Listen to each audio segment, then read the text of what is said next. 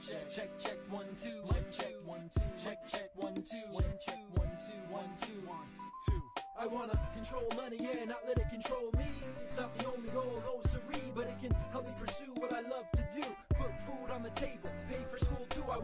Control money, yeah, not let it control me. It's not the only goal, no siree, but it can help us achieve all the dreams we want, like this microphone that we're recording on. They say that money doesn't grow on trees. What that means, be ready to work for every penny you please. Oh. Could be for your mom and pops, home raking leaves, or as one of a company's employees. The company that hires you is your employer. It's important to enjoy your job, doctor, lawyer, city sweep, teacher, preacher, actor, cop, reporter. The training that you have will make your salary taller. But then where does your money go? You gotta plan of how your money will flow. Shows the dough you're making and the dough you're spending. Step one, get a paper, take a pen, then write all the money that you think you might make this week. Step two, write the money that you will use this week. Now look down, do the two amounts balance? No, you need to change that. It's a challenge. I wanna control money, yeah, not let it control me.